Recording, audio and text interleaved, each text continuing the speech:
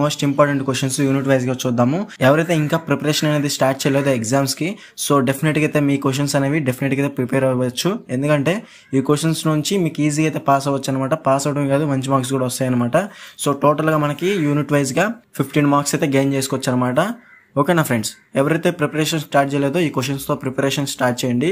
మీకు గనుక టైం ఉంటే మిగతా క్వశ్చన్స్ కూడా ప్రిపేర్ అయితే అవ్వండి.